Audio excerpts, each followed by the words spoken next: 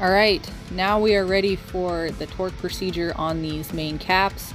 The initial torque is 37 foot-pounds, and you are going to go from the inside middle cap to the outside alternating.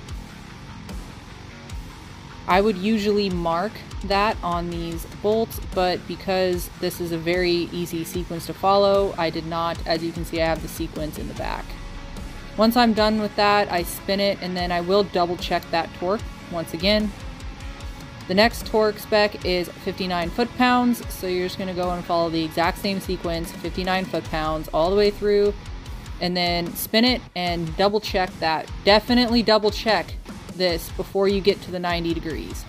So here I am marking the heads of the bolts with a file with a line parallel to the crankshaft. This is just double checking or if I forget to push the button that says start on my digital torque wrench, which I do actually do here, then I have a visual reference and I don't have to untorque and retorque that bolt. So you're just going to go back through the exact same sequence. The marks on the bolts help make sure that you have all of them done because obviously you cannot go back through and check these. Uh, it does say in the manual to continue to spin the crankshaft periodically while you're doing this last 90 degree torque. And that is it you are done and ready to check the end play.